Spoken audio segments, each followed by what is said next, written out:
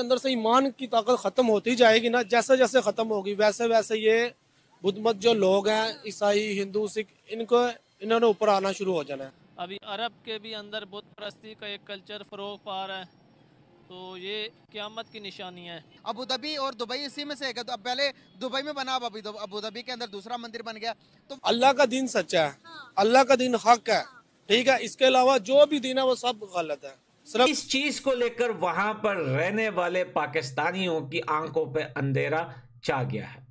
तो फिर इंडिया क्यों नहीं मजहबी आज़ादी दे रहा? क्यों बाबरी मस्जिद शहीद की उसने? क्यों मस्जिद देखिए मेरी बात सुने बाबरी मस्जिद के लिए दोबारा से जगह दी गई ना आप लोग उसकी बात क्यों नहीं करते? मस्जिद शहीद क्यों की? अगर एक जगह पे मस्जिद बनी हुई है अगर मंदिर जहाँ पे बनाना था जहाँ जगह दी गई मस्जिद के लिए वहाँ पे मस्जिद बना देते हो। हमारी जितनी भी मुस्लिम कम्युनिटी है यूएई के अंदर, उनको इसके खिलाफ प्रोटेस्ट करना चाहिए। हमारा बिज़नेस सेटअप है नवाफिस के नाम से। हम खुद भी उसके प्रोटेस्ट में शामिल हैं। तो अबू धाबी के अंदर, अब तक का दुनिया का सबसे बड़ा मंदिर बना।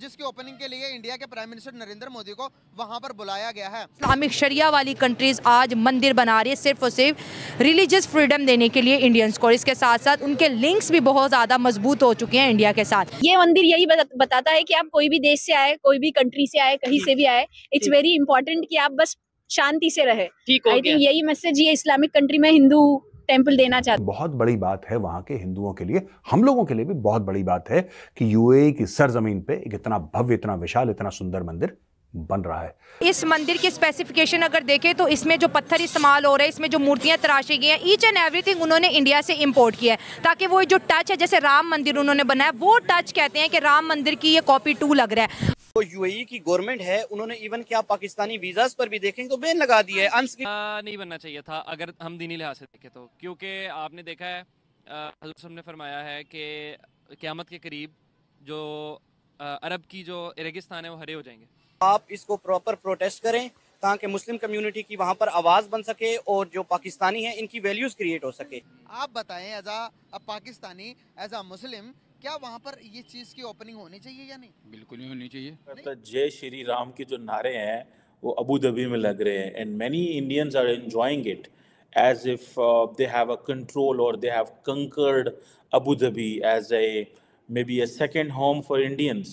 Uh, और अभी जैसे एक वर्ल्ड गवर्नमेंट समिट हो रही है अबू धाबी में वहाँ पे आपने एक चीज़ नोट की है कि नरेंद्र मोदी जो है वो हिंदी में बात करते हैं। Just to give a message और ओनरशिप लेते हैं हिंदी लैंग्वेज की। और लोगों को ये बताएँगे कि भाई देखो, ये जो लैंग्वेज है, मैं यही बोलता हूँ, यही लैंग्वेज आप भी बोला करें। सो ये एक एक नए उन्होंने तर्ज सेट की है कि जहाँ जाएँगे, जैसे रशियन प्रेसिडेंट अपनी लैंग्वेज बोलते हैं, बाकी चाइनीज़ अपनी बोलते हैं तो वो कहते हैं इंडियंस के लिए भी आपको हिंदी सीखनी पड़ेगी। सो प्राइम मिनिस्टर मोदी को एक तो उन्होंने गेस्ट ऑफ़ ऑनर बुलाया था इस समिट पे, और उन्होंने अपना वो जारी बात है, किया क्लाइमेट टेररिज्म बहुत सारे और इश्यूज़ जो थे, जो कि इंटरनेशनल गवर्नेंस के हवाले से होते हैं। अक्सर एक एक फ्रेज़ बोला जाता है कि मिनिमम गवर्नमेंट मैक्सिमम गवर्नेंस कि गवर्नमेंट कम से कम हो स्विफ्ट प्रोसेस हो रेड टेपिज्म ना हो, ये चीज़ें ना हो ताकि आप अच्छे तरीके से गवर्न जो है वो कर सकें। और नरेंद्र मोदी इस हवाले से इंडिया के अंदर कोई इंडियन मॉडल जो है वो कोई कोई इतना आइडियल मॉडल नहीं है in terms of minimum government maximum governance but India के अंदर क्योंकि डिजिटल पब्लिक इंफ्रास्ट्रक्चर इतनी तेज़ी से डेवलप हो रहा है दैट दे डू अंडरस्टैंड कि हमें हमारा जो मॉडल है, उसकी वैल्यू वर्थ होगी।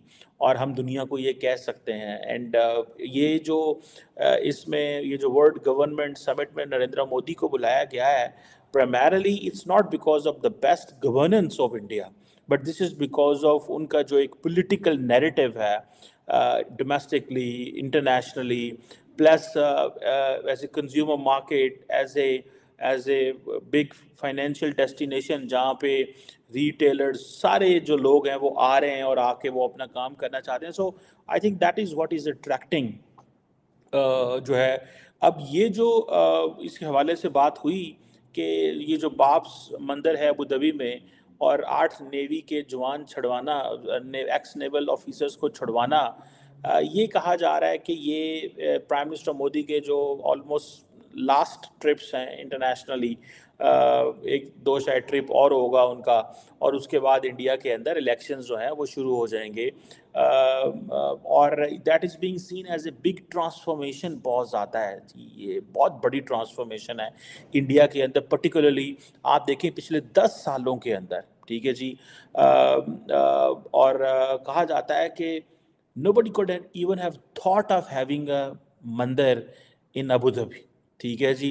And particularly in those Islamic communities and Islamic countries जहाँ पे which are basically considered as a जिसे कहते हैं ना बेस्टन ऑफ़ इस्लाम और समथिंग लाइक आप कह लें कि उसको स्ट्रॉन्ग होल्ड ऑफ़ इस्लाम हो, जहाँ पे hundred percent almost ninety nine percent लोग जो हैं वो मुसलमान हों और लोकल्स बड़े कम हों जो नॉन मुस्लिम हों। सो ये चीज़ करना आई थिंक ये इसको इंडिया का ये जो ट्रांसफॉर्मेशन है ये एक इंडियन डिप्लोमेसी की सक्सेस है ये। से पहले तकरीबन चार पाँच साल से पहले पीछे जाएँ तो इतना कुछ इंडियंस के बारे में नहीं था, पर आहिस्ता आहिस्ता उन्होंने बहुत ज़्यादा होल्ड कर लिया है पूरे यूएई का मैं कह सकती हूँ। बहुत सारे जो इंडियंस हैं वहाँ आ चुके हुए हैं। और माशाल्लाह मैं फिर ये कहती हूँ, अपनी अच्छी परफॉर्मेंस से वो लोग नाम बना रहे हैं, इसमें नो डाउट वो लोग अपना हंड्रेड परसेंट देते हैं। और फिर मैं वही बात बोलूँगी, पाँच उंगलियाँ बराबर नहीं है, कुछ उनमें भी गलत आते हैं।